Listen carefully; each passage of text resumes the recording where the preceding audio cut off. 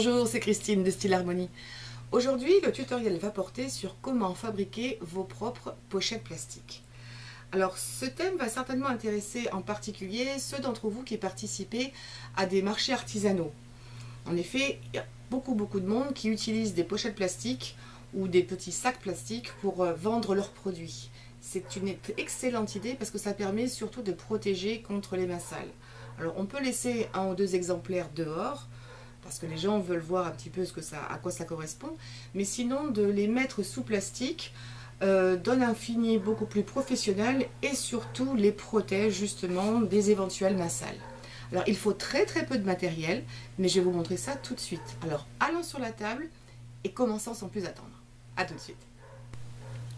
Donc les objets dont vous aurez besoin pour ce tutoriel sont les suivants. Premièrement, vous aurez besoin de plastique de protection pour vos documents. Vous savez qu'on trouve surtout en ce moment avec la rentrée scolaire dans presque tous les magasins. Alors, la chose importante à bien vérifier quand vous allez les acheter, c'est de prendre des plastiques qui soient le plus transparents possible et sans couleur.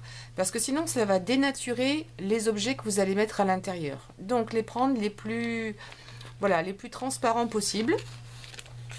Ensuite, le deuxième outil le plus important, ça va être celui-ci qui est en fait un, outil utilisé pour graver le bois. Alors, ça se trouve assez facilement euh, dans pas mal de magasins de bricolage. N'allez pas mettre cher là-dedans. Euh, c'est pas du gros, matériel lourd pour professionnels. Vous les trouvez également dans les, magasins qui euh, vendent des produits pour loisirs créatifs et surtout après sur internet. Mais ne mettez pas cher, vous pouvez les trouver entre 10 et 15 euros. Et cet outil vous sera également très utile si vous voulez, par exemple, euh, découper vos propres stencils, vous savez, vos pochoirs. La seule chose, c'est que si vous faites vos pochoirs, n'allez pas acheter ou utiliser plutôt ce, type de plastique. Il faudra un plastique un peu plus rigide, type rhodoïde, par exemple.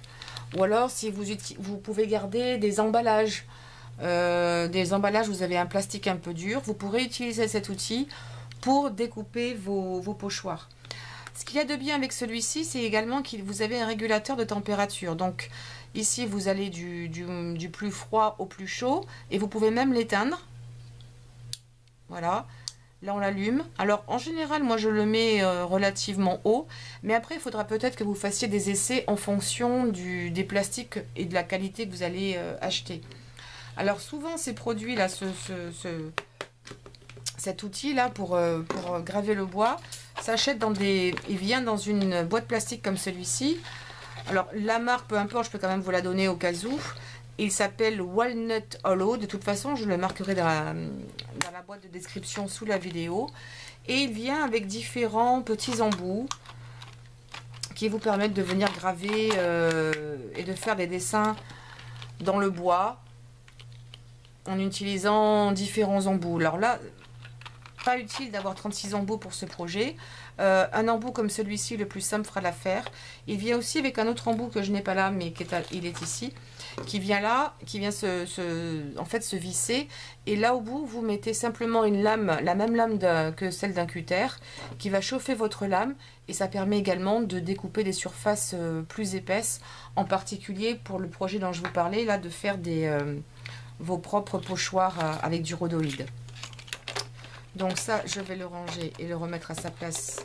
On n'en a plus besoin. Ce qu'il vous faudra également pour pouvoir découper, ça va être une planche comme ça, une plaque en verre.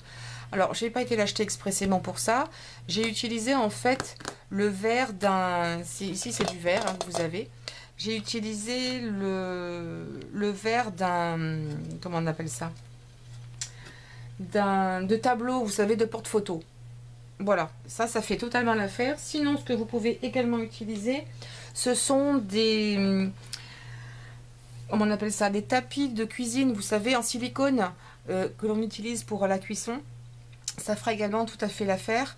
Parce que si vous utilisez cet outil à brûler sur votre euh, plaque de découpe habituelle, vous savez, celle-ci que certainement beaucoup d'entre vous ont, cela va, ça va le brûler. J'ai commencé à faire une marque à l'intérieur, j'avais complètement oublié. Donc euh, voilà, protégez votre plan de surface. Et surtout, s'il y a des enfants qui regardent cette vidéo, s'il vous plaît, demandez l'autorisation d'un adulte ou l'aide d'un adulte parce que ça risque de vous brûler énormément.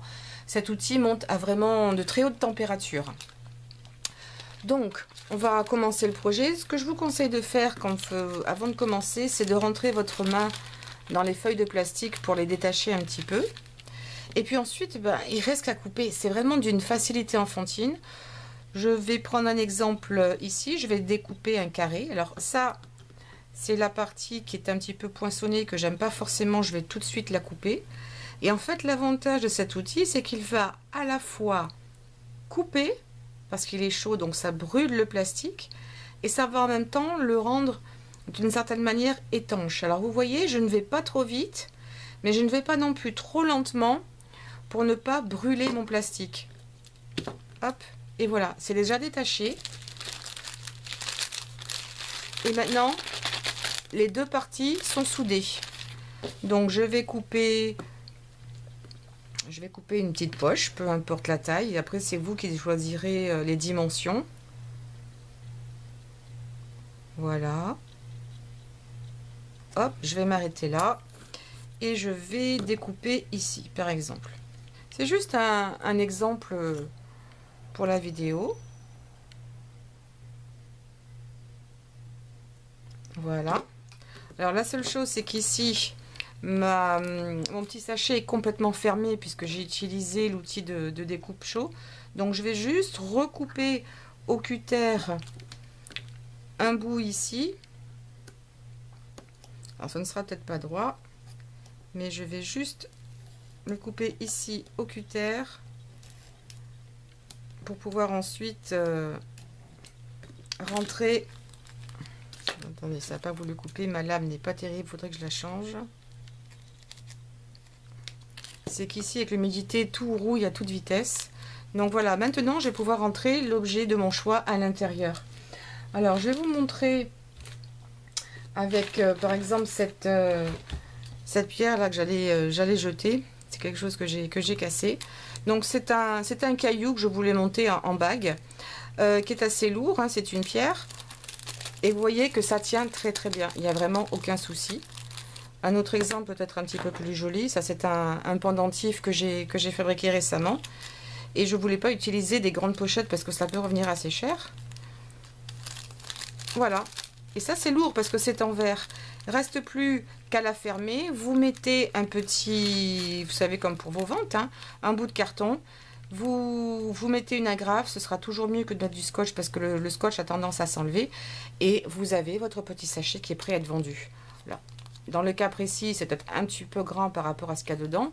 Mais en termes de rendu, c'est vraiment très sympa. Voilà ce que j'ai pu faire ici. Donc faites utiliser la taille que vous jugez être la plus appropriée. Je pense que dans le cas présent, celle-ci est beaucoup mieux. Ça, c'est peut-être un petit peu serré. Celle-ci est bien.